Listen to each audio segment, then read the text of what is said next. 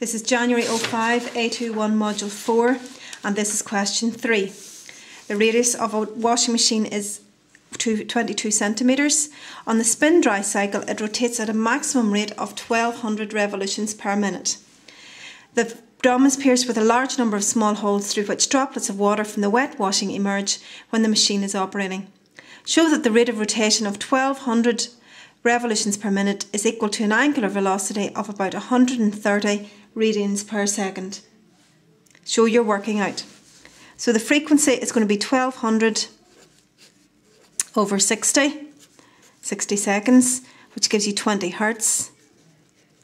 And then omega is equal to 2 pi f, which equals 2 pi times 20. So the answer therefore is um, 40 pi radians per second, or that works out to be 125.7 or 130 to two significant figures, three significant figures. Radian s to the minus 1.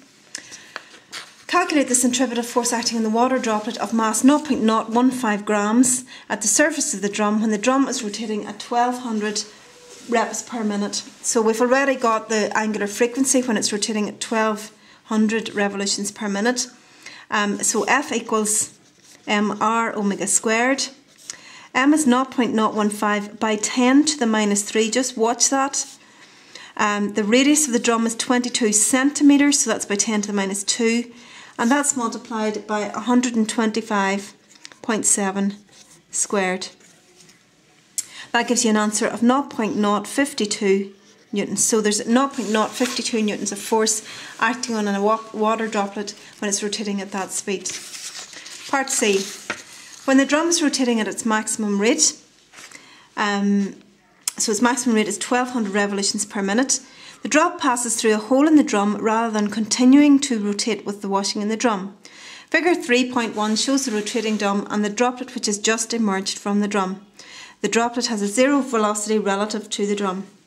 On figure 3.1, sketch the direction of the initial velocity of the droplet after it has passed through the hole relative to the stationary casing of the washing machine. So since it's rotating in that direction already, it's going to go like that and so we'll call it V. The centripetal force on the droplet is provided mainly by friction between the water and the clothes in the machine. Assume that this frictional force is constant, so we know that that frictional force has got a value of 0.052 newtons maximum because we've calculated that in part B. The rate of rotation of the drum in the spin cycle is reduced to 800. Determine whether or not the droplet of mass 0.015 grams in B and C will emerge when the drum is rotating at this rate. Show and explain your calculation carefully. So first thing we want to do is calculate omega again. It's 2 pi f. And this time f is going to be um, 800 divided by 60. 800 revolutions in a minute. f is equal to mr omega squared and that gives you 0.015 by 10 to the minus 3 again because it's in grams.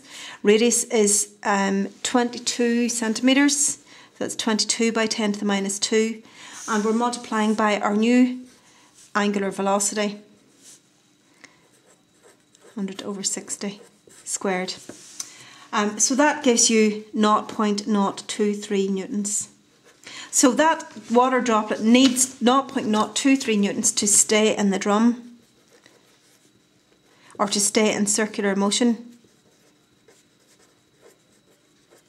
So drop needs F equals 0.03 newtons to stay in circular motion at 800 revs per minute.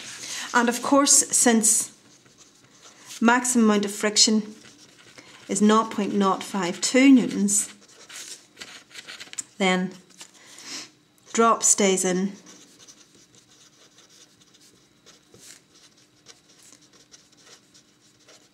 As it only needs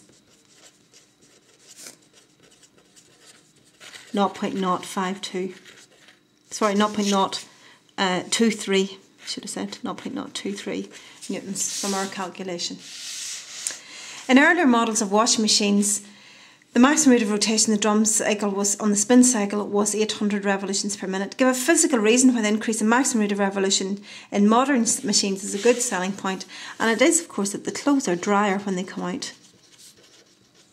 So the clothes are drier when spinning faster or spun faster, i.e., at 800 at 1200 revolutions per minute compared to 800.